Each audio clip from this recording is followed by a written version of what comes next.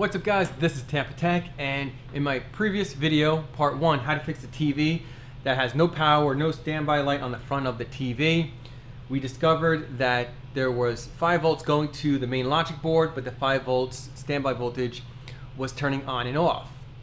Then we troubleshooted back to the power board and we discovered that there was a bad transistor, went online and found that there is a repair kit for this particular model, TV model, and actually other t Samsung TV models that fixes these TVs. It's like a common uh, repair kit that Shop Jimmy puts together that fixes this common issue. And I used their repair kits in the past and I had pretty, most of the time I had success. I got the repair kit, it came in. Even though I tested the capacitors and they were reading good, it still comes with capacitors because that is a known issue where the capacitor fails and you lose the 5 volt standby voltage going to the main logic board. But I'm still going to replace all the parts because these parts are 10 years old and I'm going to replace them for the newer parts, which makes sense, right? They're here, I paid for it, uh, it was under $20 versus buying the power board, which is around 70 to $80. So you're saving yourself some money, but if you don't have the tools or the skills to fix your TV, you can just order the power board, which comes with the warranty. The repair kit has no warranty. Also in my previous video, um, there was two comments I'm gonna, I'm gonna reply to in, the, in this video. And one was, do I have an electrical engineering degree? And I replied no, but I did go to ITT Tech. Even though ITT Tech did issue me this computer and electronic engineering Technology, this is my degree right here. In 2003, I got this. I don't consider it a real engineering degree because for one, it's not accredited school. So if I was going to go to another school, my credits don't transfer over. Well, definitely won't transfer over now that ITT Tech is no longer in existence, which really sucks. But my student loan still exists. you live and learn.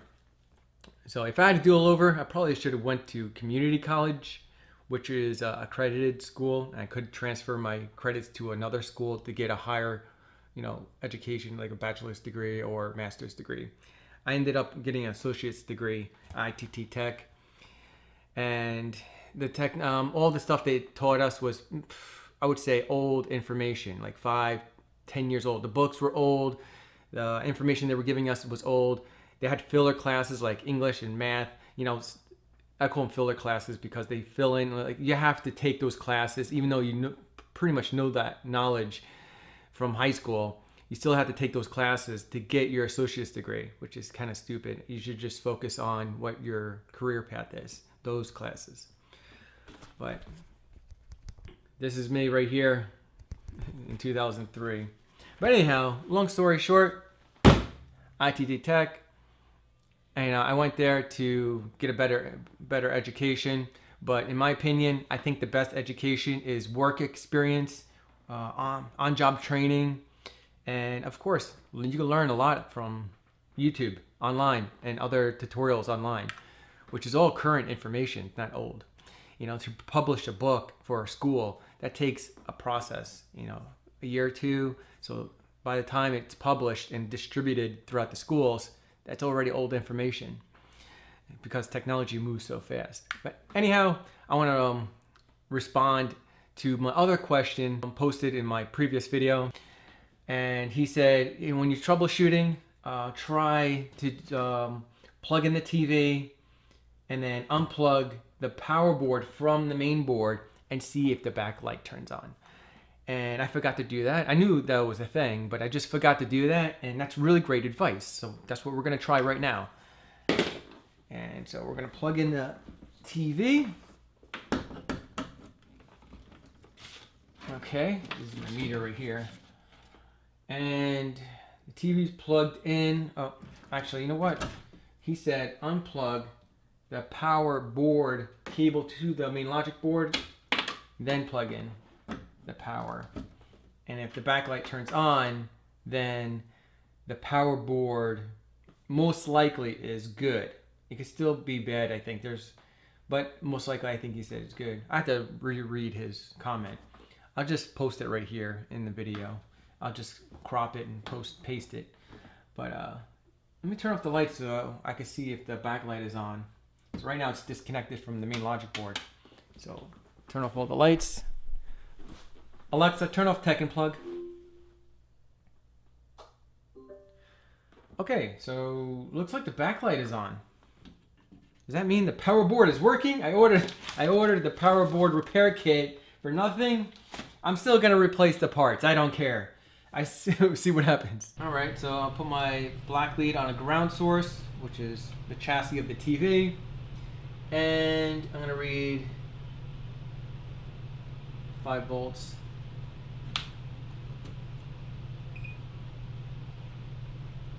which is the third one, I think. I believe it's the third one.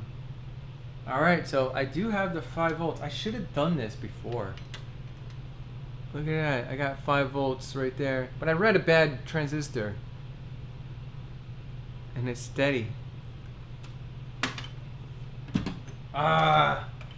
I'm still learning, guys. Before my previous video, I checked the 5 volts. I was getting 5 volts, 0, and it drops down to 0, and then 5 volts again, and it drops down to 0.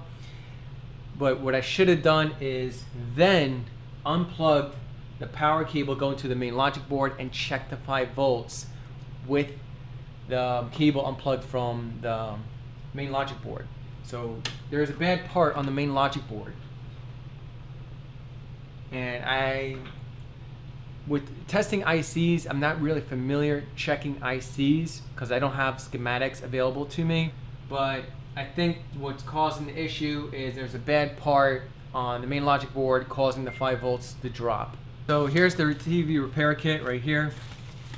What's inside is a coupon and the repair kit right here. And this is the board number. All right, let's open it up.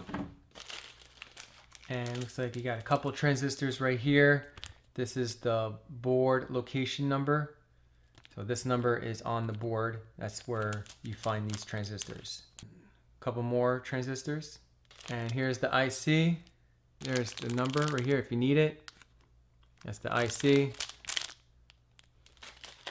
And you got some fuses right here. Here's the cap. Here's some more capacitors. These are electrolytic capacitors, which tend to go bad. That's why um, I thought this would work. But uh, this is the location numbers.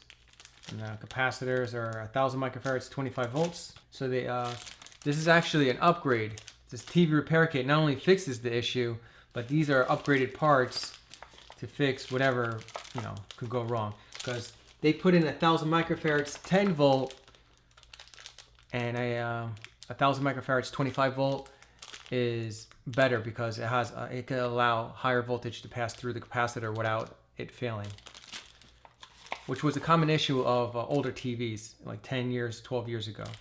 Here's another fuse. And more capacitors. And that's it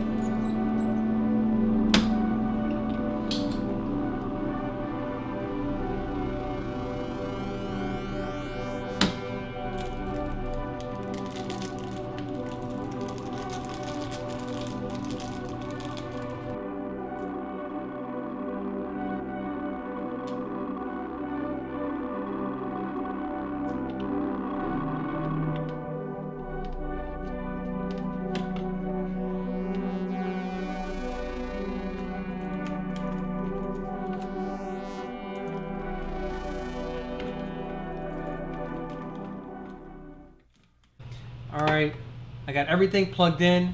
The inverter board is plugged into the power board. I got the main logic board plugged into the power board. And let's go ahead and plug in the main power, the um, power plug.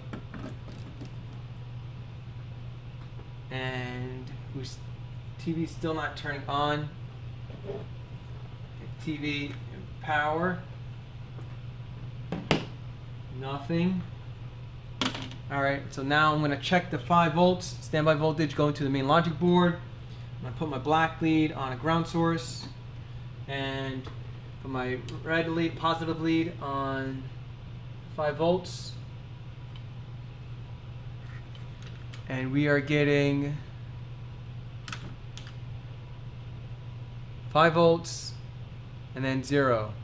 And then 5 volts again probably. No, I was wrong. No, 5 volts back down to zero. Same results. So I didn't have to order the TV repair kit and that part that I thought was shorted wasn't even shorted. It was a, a small part of it. I thought it took it out of circuit when I desoldered it from the board, but I guess there was a small fragment of solder stuck to the terminal and giving me a, a false reading on my meter. So I should have took the part completely out instead of doing, uh, being lazy and just desoldering it and thinking that it's out of circuit. I should have troubleshooted further and you know and been more and confirmed my conclusion like my troubleshooting and because I fixed the TV before with the same um, issues symptoms with I got 5 volts standby voltage and dropped down to zero that one was actually a bad capacitor or bad capacitors on the power board causing the 5 volts to drop.